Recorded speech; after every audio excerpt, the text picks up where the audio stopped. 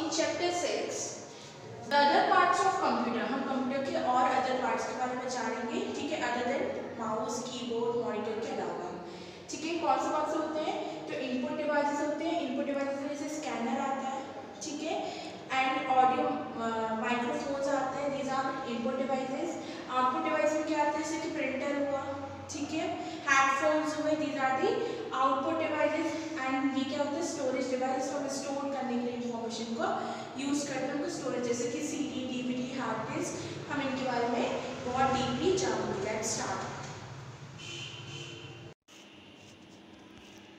Okay, now in this module we are going to learn about the other parts of computer. Computer के दूसरे parts क्या क्या होते हैं ठीक है In this chapter, you will learn about the output device, input device and storage device. Output device में होते printer, speaker and headphones.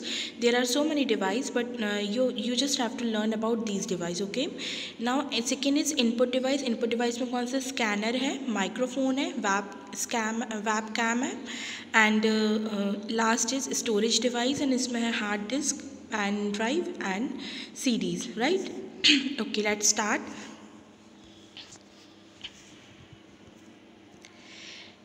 You have learn about the keyboard and the mouse ठीक है? आप ऑलरेडी इनके बारे में सीख चुके हैं। The central processing unit and the monitor और आप central processing unit that is you और मॉनिटर के बारे में भी जान चुके हैं। Now let's learn some more devices that can be connect to a computer जिसको हम कंप्यूटर से कनेक्ट कर सकते हैं। जैसे कि printer right the first is printer like a monitor monitor की तरह ही प्रिंटर की एक क्या है? एक आउटपुट डिवाइस है, ये आपको आउटपुट देता है. It is usually connected to a computer by a cable एक केबल से हम एक वायर के थ्रू हम इसको कनेक्ट करते कंप्यूटर से, ठीक है? And it is use to print out the text और a picture from the computer computer से किसी टेक्स्ट को या पिक्चर को प्रिंट निकालने के लिए प्रिंट आउट निकालने के लिए हम क्या करते हैं? प्रिंटर का यूज़ करते हैं। ये आप सभी को पता ही है, हम नॉर्मली प्रिंटर का जब भी हमें डेस्कटॉप में कोई भी इमेज या कोई भी आपको टेक्स्ट या डॉक्यूमेंट चाहिए पड़ता है तो आप क्या करते हो कि जाते हो ना शॉप पे बोलते भैया, इसका प्रिंट आउट निकाल दीजिए राइट आपका एडमिशन हो या कोई भी फॉर्म हो तो आप उसका प्रिंट आउट निकलवाते हो तो वही चीज़ होता है प्रिंटर का काम वही होता है राइट इसलिए इसको आउटपुट डिवाइस बोला जाता है। Now next is speaker and headphone speaker and headphone भी आउटपुट डिवाइस है। These are use to listen the music and audio playing computer तो कंप्यूटर में ऑडियो प्लेइंग और म्यूज़िक को सुनने में हम हेडफोन्स का यूज़ करते हैं। अपन नॉर्मली फ़ोन में भी क्या करते हैं? हेडफोन्स का यूज़ करते हैं राइट ताकि हम सॉन्ग्स वगैरह को सुन सकें सुन या मूवीज़ देखते तो हम उनको सुन सकें राइट इसलिए हम क्या करते हैं? इनका यूज़ करते हैं। Now the scanner what is scanner scanner is a input device scanner क्या है? इनपुट डिवाइस होता है जो स्कैन करता है आपके डॉक्यूमेंट को। ठीक है? और वो डेस्कटॉप पे मतलब आपके जो मॉनिटर है, उस पर स्क्रीन पे दिखने लगता है जो आप स्कैन करवाते हो। तो स्कैनर एक इनपुट डिवाइस होता है। The entire page of the text या image into the computer तो ये क्या करता है? वो स्कैन करता है जो भी आपका डॉक्यूमेंट जो हार्ड कॉपी में है, वो क्या दिखने लगती है आपके? मॉनिटर स्क्रीन पर दिखने लगती है। ठीक है? और ये पूरा फ़र्स्ट टू लास्ट मतलब स्टार्टिंग टू एंड पूरा स्कैन करता है राइट पूरे एंटायर डॉक्यूमेंट को एंटायर पेज को, पूरे पेज को वो स्कैन करके दे देता है।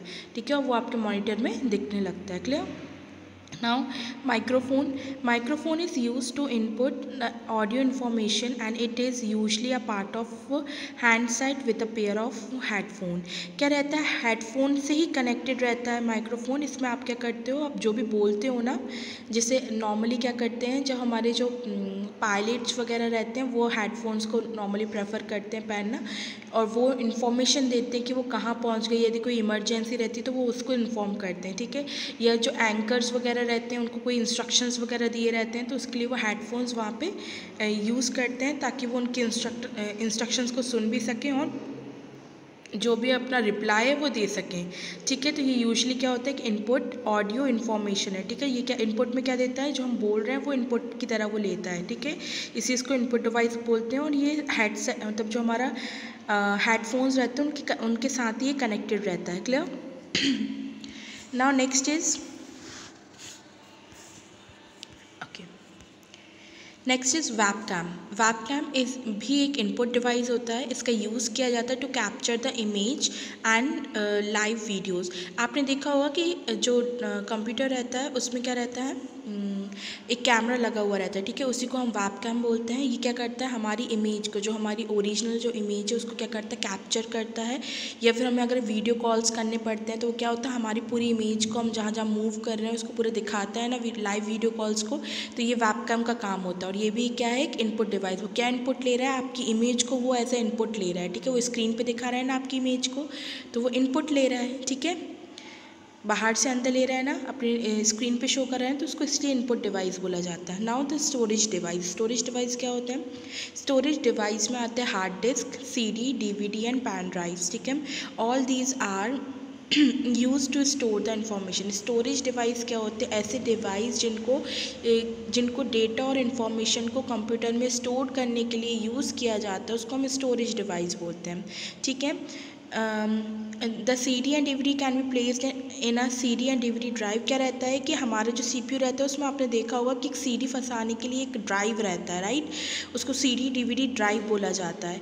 आप जब उसमें सी डी को लगाते हैं ना तो वो आपको वहाँ पर शो करते रहता फिर आप मूवी देखते हैं right which is fixed inside the system unit clear तो सी डी डी में क्या करते हैं उसमें मूवीज़ रहती हैं, हम स्टोर करते हैं ना, या हमें कोई भी सॉन्ग को स्टोर करना है तो हम सी डी में स्टोर कर लेते हैं और फिर उसको रख लेते हैं। और जब भी हमें when we want to listen it तो हम उसको सी डी को दोबारा सिस्टम यूनिट में फंसाते हैं और सुन लेते हैं राइट इसलिए क्या आते हैं, ये एक स्टोर करने के लिए, क्योंकि आप इसमें क्या कर रहे हो, आप अपने गानों को सॉन्ग्स को, आप वीडियोज़ को इवन मूवीज़ को आप क्या कर रहे हो स्टोर कर रहे हो, ठीक है? तो ये इसलिए स्टोरेज डिवाइस है। ना पेन ड्राइव पेन ड्राइव को तो सभी जानते हैं। Pen drive is also removal storage device removal क्यों? क्योंकि हम क्या करते हैं? पेन ड्राइव को कहीं पे भी लेके मूव कर सकते हैं राइट वो आप रिमूव कर सकते हो। आपने उसमें स्टोर करा सामान, जो भी इंफॉर्मेशन है डेटा है, उसको स्टोर किया और फिर आपने उसको रिमूव कर दिया राइट तो ये क्या होता है? रिमूवेबल मतलब आप उसको रिमूव करके आप अपने पॉकेट में डाल के कहीं पर भी मूव कर सकते हो। और आप किसी भी डेस्कटॉप पर वापस उसको इंसर्ट करके वहाँ से डेटा को निकाल सकते हो। तो इसलिए पेन ड्राइव क्या है? Removable storage device and it can be inserted in a U S B port में आप इंसर्ट कर सकते हो, ठीक है? A hardware disk hardware disk disk can store the huge amount of data जो हार्डवेयर डिस्क रहती है, वो बहुत ज़्यादा अमाउंट ऑफ़ डेटा को स्टोर करता है और it is found inside the system unit और hard disk already fixed already fixed रहती है कहाँ पे? मदरबोर्ड में और ये सीपीयू के अंदर ही ऑलरेडी हार्ड डिस्क जो रहता है, रहती है सिस्टम यूनिट के अंदर ही। और ये आपको देखो सारी इमेज दिख रही है सीडी की। ये डीवीडी ड्राइव है, ठीक है, इसमें सीडी को फंसाया जाता है। ये ये सब सीपीयू के अंदर ही क्या करा जाता है? स्टोर किया जाता है right pen drive pen drive को आप रिमूव भी कर सकते हो प्लग इन और प्लग आउट कर सकते हो। एंड ये क्या है? ये हार्ड डिस्क है क्लियर ओके आई होप आपको समझ में आया होगा ये। Um, okay. Thank you so much